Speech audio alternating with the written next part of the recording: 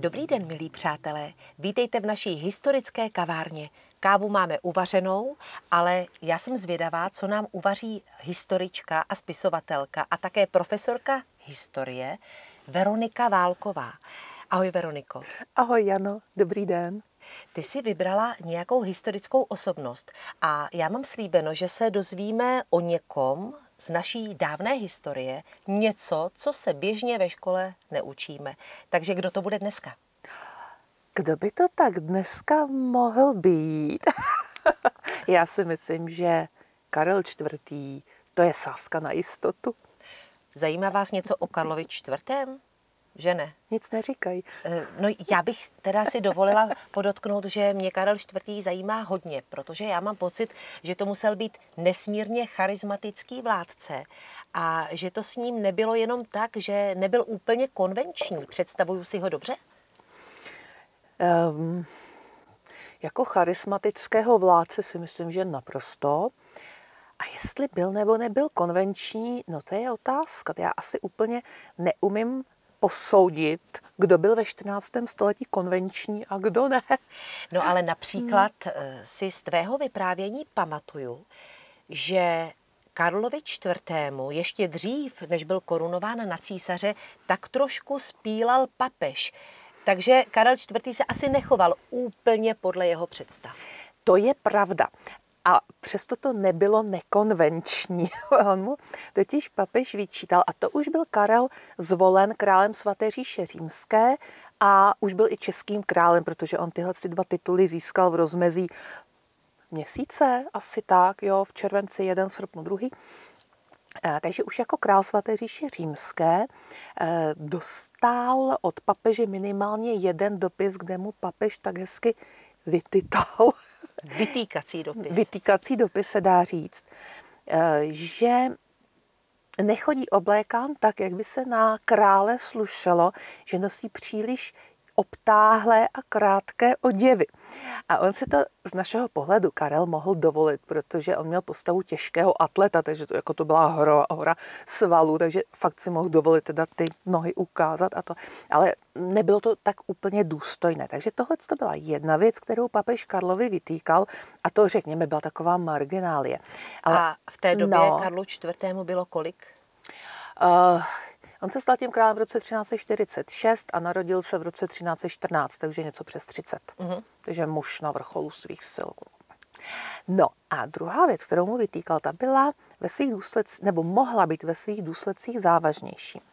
Karel IV. totiž miloval turnaje, bitvy, po tatínkovi byl prostě rytíř každým soulem. Ale přestože jako král někdy do té bitvy musel jet, pochopitelně, protože eh, tehdy bitva byla logickým pokračováním neúspěšných diplomatických jednání. Na turnaj by nemusel, to je zábava. A Karel mu právě, eh, pardon, papež Karlovi vyčítal zálibu v těch turnajích, protože tam hrozilo, tam vlastně zbytečně riskoval zdraví nebo život. No na těch turnajích opravdu se dalo přijít k úhoně Karlův tatínek Jan Lucemburský byl na jednom turnaji málem ušlapán koňmi, byl, byl velmi těžce zraněn a Karel IV. sám také později No a když teda už se povedla ta volba, no to nebylo jednoduché, jo, toho Karla zvolit tím Karlem IV. Když už se to konečně povedlo, tak papež měl zájem, aby v té Evropě nějakou dobu byla stabilita a ne, aby za půl roku Karla někdo na turnaji zmrzačil. Takže tomu vyčítal, ale Karel si dost často dělal to, co on uznal za vhodné, takže víme z kronik, že se účastnil turnajů a ty kronikáři to tak hezky nazvali pod cizím erbem. Protože erb to byla taková občanka že, toho rytíře, takže Karel tam nejel se svým znakem, aby všichni si přečetli, jo, kdo to je, ale jel tam vlastně inkognito. A já ho trošičku podezírám, že to dělal i proto, aby ho třeba ten protivník zbytečně nešetřil. Jo, že by se třeba bál ten druhý rytíř, že smete z koně krále svaté říše římské a pak to bude na něj, když se mu něco stane, tak aby se to Karel užil naplno, tak jako tak na tajňačku tajný rytíř. No. Jak tak vyprávíš o Karlu IV? Já bych řekla, že to nebyl asi úplně, eh, jak bych řekla, mm, takový pecivál, ale to už se od Karla IV. ani neočekává. Ovšem jednou se mu to bojování nějak nevyplatilo a skutečně měl těžký úraz a ty už to tak trošku naznačila, kde to bylo a kdo mu to vlastně způsobil? Nikdo neví. Nikdo neví. Nikdo neví, protože ta situace právě musela být ututlaná. Jo? Papež Karlovi opakovaně vyčítá a teď se Karel na tom nějakém turnaji v uvozovkách řeknu nechá zmrzačit, no tak to se papež nesmí dozvědět. Jo. Takže my víme, že v říjnu 1350, pokud se nemýlím, Karel ochrnul na všechny čtyři končetiny. A české kroniky to tak jako trošku zmíní, ale nechtějí se v tom moc vrtat. Jo? Přitom eh, ve chvíli, kdy panovník ochrne, tak to pro tu zemi je obrovský otřes. Takže tam bylo jasný, že prostě něco se nesmí, něco se nesmí jako dostat do zahraničí, něco se nesmí rozkřiknout. A v únoru následujícího roku už Karel jel na koni do Lužice. To znamená, že tam říjen, listopad, prosinec, leden, čtyři měsíce trvalo, než se z toho zranění nějak zotavil.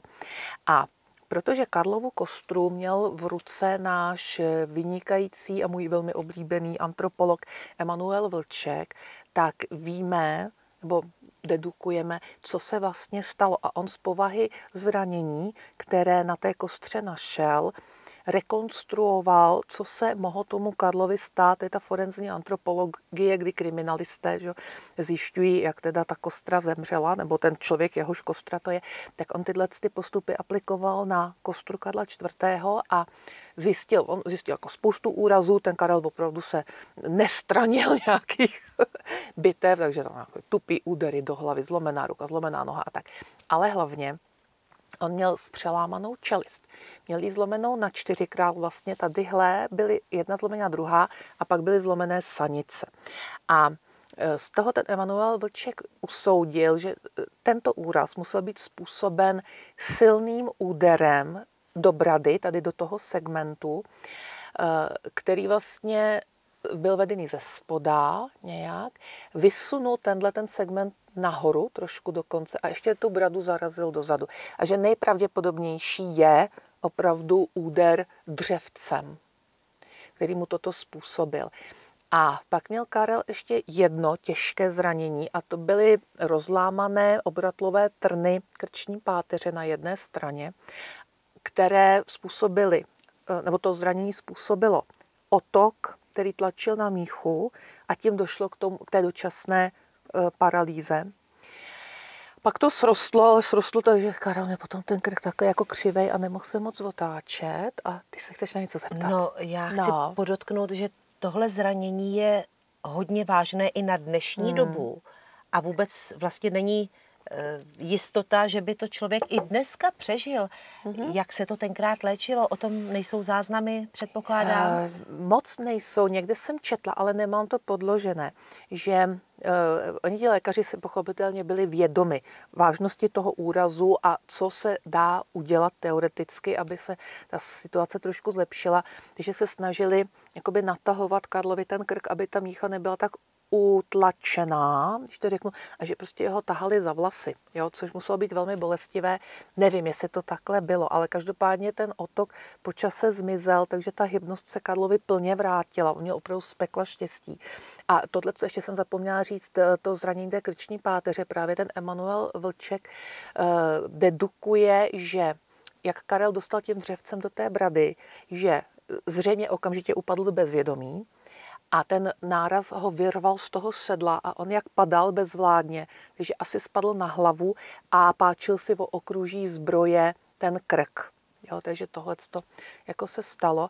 A možná že, možná, že je dobře, že se mu to stalo, protože i tehdejší jeden kronikář napsal, že Karel uléhal na lože jako rytíř a vstal z něj jako císař nebo král, budoucí císař, protože jemu spousta věcí došla. Kolem něj prošla smrt. Jo, vemte si toho eh, rytíře jako nabušenýho, jo, který opravdu prostě mm, do té bitvy jede a teď najednou on se nemůže hnout.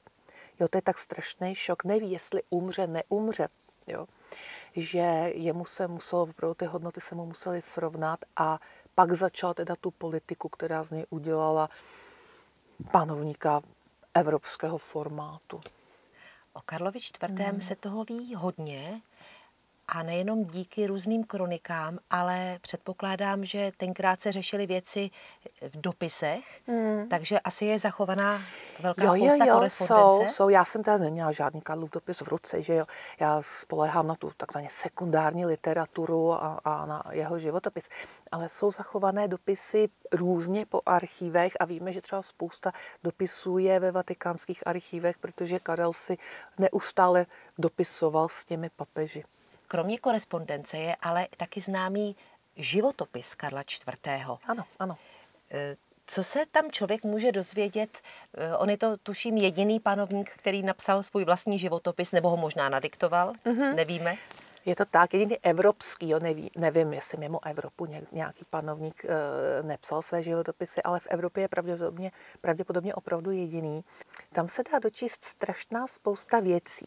Protože se tam věnuje pochopitelně politickým záležitostem, diplomaci, ale má tam spoustu takových jako střípečků i ze svého života.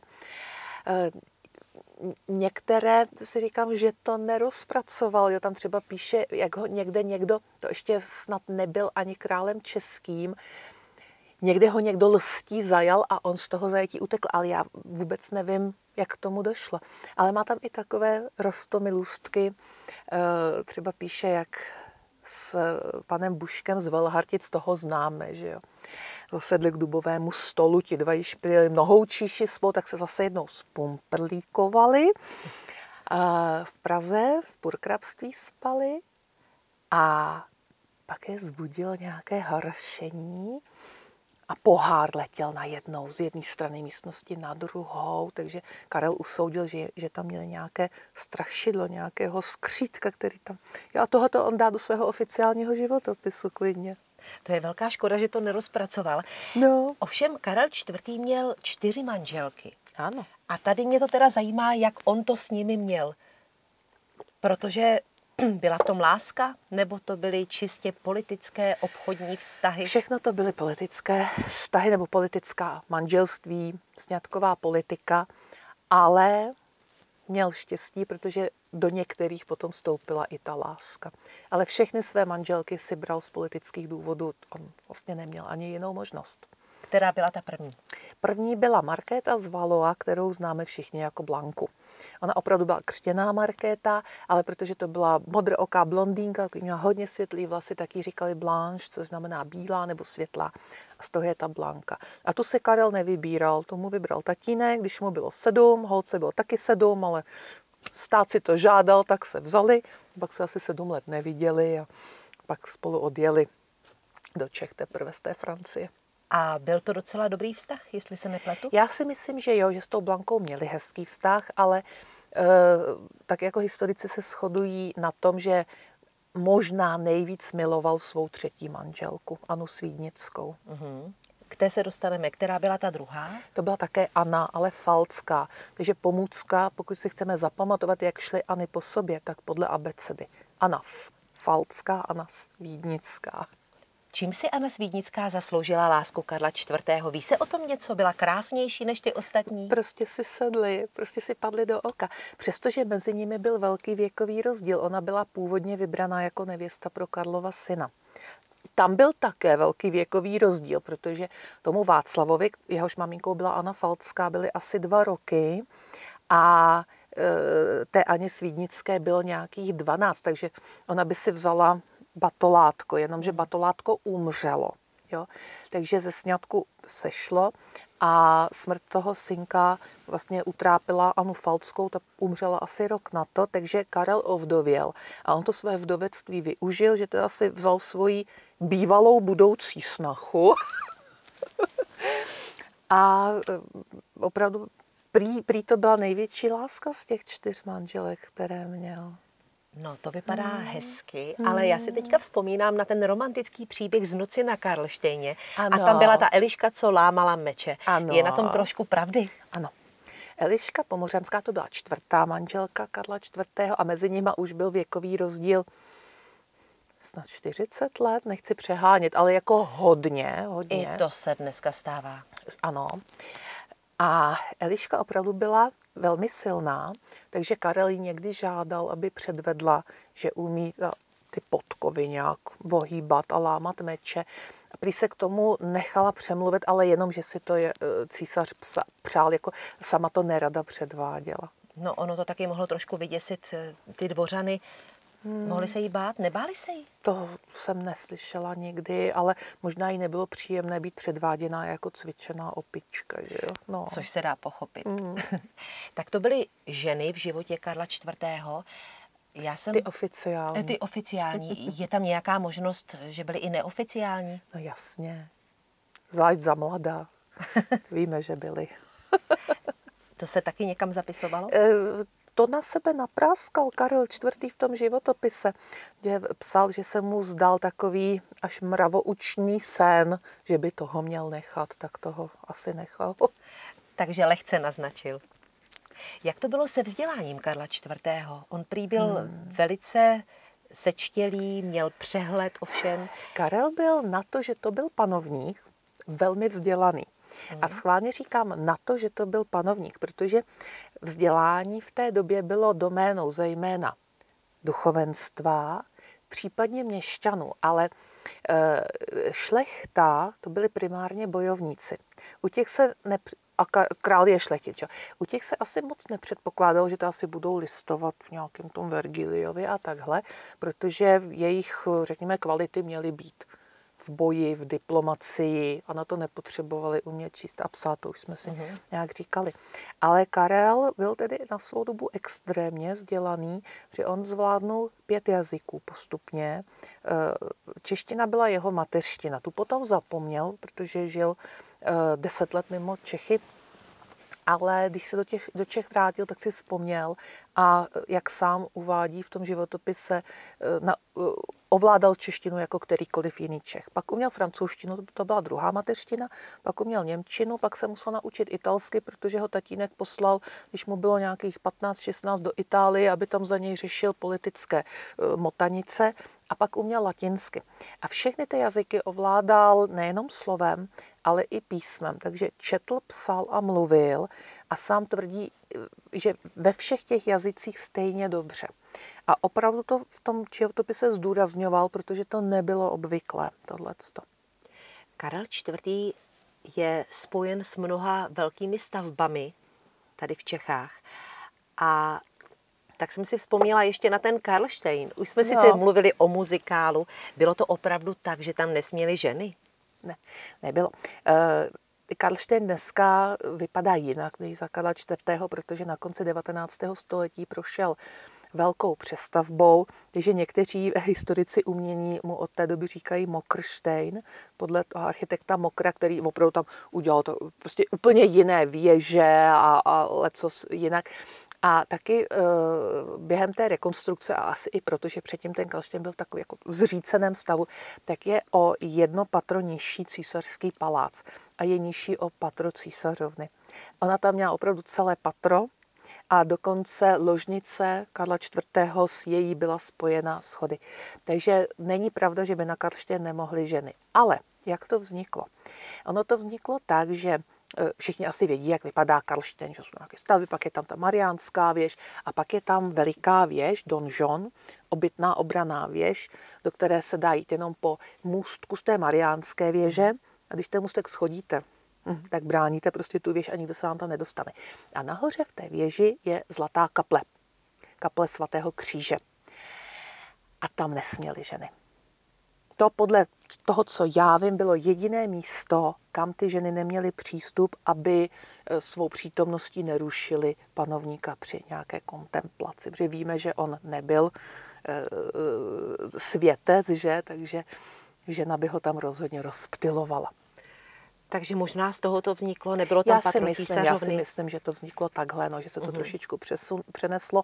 No a taky um, v tom muzikálu, že je to dobrá zápletka, co si budeme říkat. No to rozhodně. No. Když si říkala o tom, jak Karel IV. rozjímal ve Zlaté kapli, tak on prý byl velmi zbožný, alespoň teda v mhm. druhé části života. Možná, že ho zachránili všichni svatí při tom velkém turnaji, který odnesl. A Jak to bylo tenkrát s těmi relikviemi? Protože jsem slyšela, že stačila tříska, o které se říkalo, že to byla třeba z kříže Ježíše Krista a že Karel IV. se na tyhle relikvie přímo zaměřoval a že je dokonce tak trošku sbíral? No ne, tak trošku. On je sbíral nadšeně a uh, On hodně cestoval po Evropě, že ta diplomatická jednání rád vedl osobně, takže všichni kolegové panovníci věděli, že pokud mu chtějí opravdu udělat radost a nějak ho uctít, tak je dobré dát mu nějakou relikvi, nějaký ostatek. Takže pro něj to byla taková sběratelská záležitost, nebo spíš eh, opravdu cítil eh, v rámci své víry, že to je cený předmět? Já si myslím, že B je správnější. Mm-hmm. Za vlády Karla IV. tady vznikla spousta staveb, které do dneška nesou jeho jméno. Mm-hmm. Co třeba Karlova univerzita? Jaké jsou okolnosti jejího vzniku a proč chtěl Karel IV. zrovna v Praze mít univerzitu? Když Karel ještě žil ve Francii do těch zhruba 15 let, tak on tam měl možnost navštěvovat přednášky na univerzitě. A myslím si, že si uvědomil, že pokud chce z toho Českého království udělat eh, stát, který bude srdcem Evropy, takže ta univerzita tady je zapotřebí. Že je zapotřebí, abychom tady měli moderní češtinou řeknu ústav vzdělávací, který bude chrlit vzdělané lidi, protože on je potřeboval třeba i jako pro tu zprávu království a podobně. A tak to byla jedna z prvních věcí, které vlastně udělal po té, co si upevnil moc v říši, protože on to nebylo jednoduchý úplně tam s tou volbou, tak v roce 1348 měl takovou první zakládací vlnu a v dubnu 1348 teda založil Karlovu univerzitu.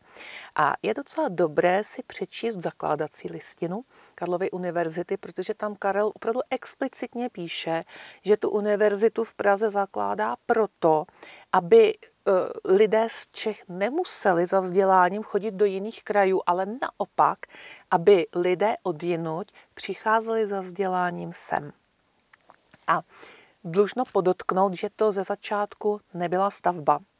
Jo, to, to byla prostě instituce a až o několik desítek let, poz, desítek let později vlastně získala ten tehdy Rotlevův dům, kde je dneska uh, aula Karolína.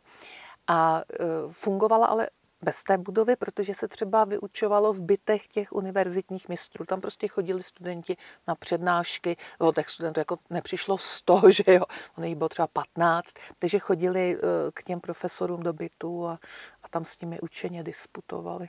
Když jsme u toho dostávali třeba profesoři, kteří vyučovali ve svém bytě na to nějakou částku? Oni dostávali plat. Oni dostávali plat, ta univerzita eh, potřebovala mít nějaké, řekněme, ekonomické zázemí a hodně o tohle dbal náš první arcibiskup Arnošt, Arnošt z Pardubic. Takže ta univerzita dostala třeba několik vesnic s polnostmi a příjmy z těch vesnic proudily právě té univerzitě a z toho mohly být placeni mistři. Pojďme se teďka podívat na Karlův most, mm-hmm. protože tam přeci kdysi dávno byl Juditin most, ano. Už byl nevyhovující? E, on byl vyhovující, dokud ho nestrhla velká voda. Uh-huh. Jo, toho strhla povodeň a nevím kdy. V roce 1330 ještě stál. A 1357 už se stavil Karlův, takže někdy mezi tím uh, ho strhla povodeň. Že se Karel rozhodnul, že teda ten kamenný most tam potřeba je a že se postaví nový a máme ho tam doteď. Jak je to s těmi vajíčky? Proč se tohle to vůbec tradovalo? Já nevím, já nevím a ani si nejsem jistá, jestli je to pravda s těmi vajíčky. Myslím, že se dělala analýza Malty, minimálně teďka při té poslední rekonstrukci, ale i předtím, a že to není dokázané. Takže ta pověst, a proč se jim taky říká velvary té vsi, která, aby se vajíčka nerozbila, tak je uvařila. Jo. Tak to nevím, jestli to nejsou jenom takové pohádkové říkánky pro Evy a Adámky. Možná. Hmm. Je něco, co se o Karlovi IV. neví tak všeobecně? Já si myslím, že spousta věcí, protože nikdy život jednoho člověka nebudeme mít probádaný úplně a ne všechno se nám zachová. No já jsem to myslela spíš tak, jestli no. byste měla nějakou perličku třeba, víš, o Karlu IV. Mám perlu.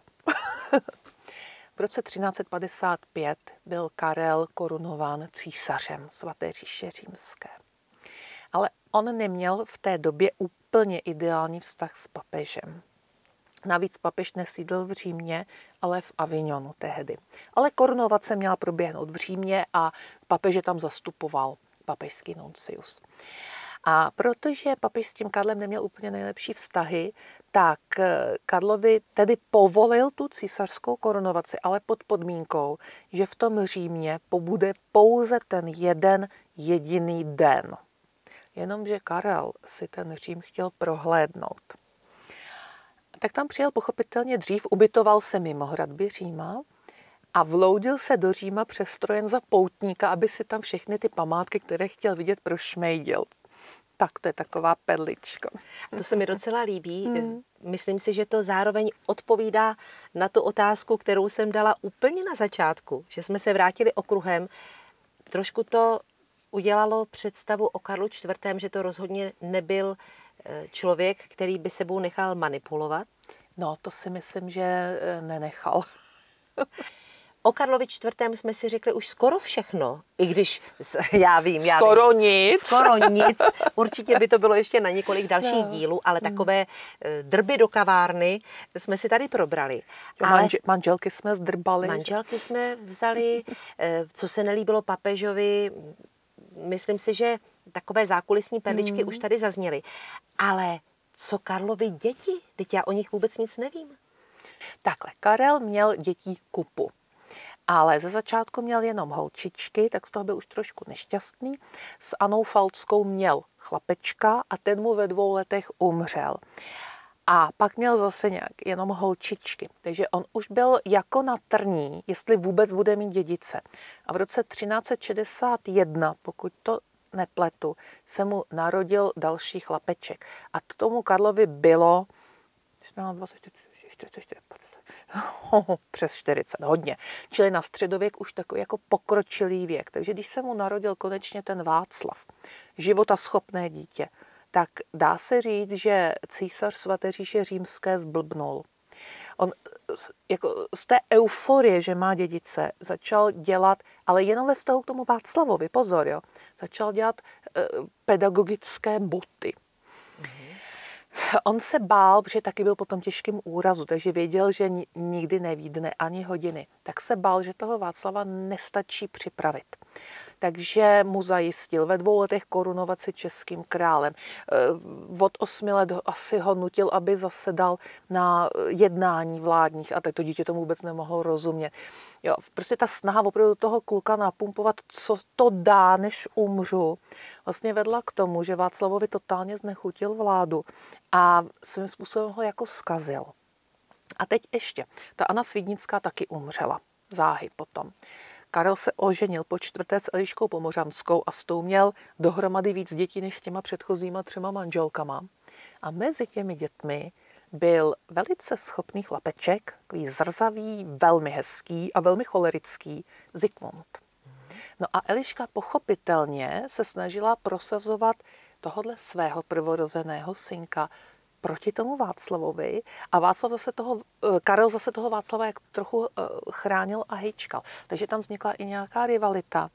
A on ten Václav, on by asi nebyl neschopný, ale já si fakt myslím, že Karel ho zkazil, že to je jako jeho jedna z mála chyb, kterou udělal. A druhá chyba, že rozdělil ty svoje země potom mezi tři syny, takže je vlastně rozdrobil, že Václavovi odkázal eh, České království a tak dále, tak dále. Zikmundovi Braniborsko a Janovi Zhořeleckému to Zhořelecko. No a ono to potom jako nefungovalo. No. Nedělalo to dobrotu. Nedělalo. Prostě lidé jsou pořád hmm. stejní. No, zvlášť ten, ten Zikmund, který byl opravdu velmi schopný a já osobně ho mám dost ráda, viděl jak se ten Václav na tom trůně chová. Prozraďme si, že Václav IV. byl jediný panovník svaté říše římské, který byl sesazen s odůvodněním, že je líný a pro účely řím, říše naprosto nevhodný. Jo. A tomuhle musel přihlížet ten stižádostivý Zikmund. Takže, mm. Nelehká situace. Hmm. Možná si příště povíme třeba o Zikmundovi, nebo o no. Václavu čtvrtém. Času hmm. máme hodně, hmm. protože naše historická kavárna nabízí spoustu témat a mm. Veronika Válková mm. nám o nich řekne zase příště. Tak Veroniko, já ti moc krát děkuju a těším se na ta další překvapení, která nám sem do kavárny doneseš. Ahoj. Já děkuji moc za pozvání a taky se těším. Ahoj a nashledanou. A s vámi se loučí Jana Richterová. thank you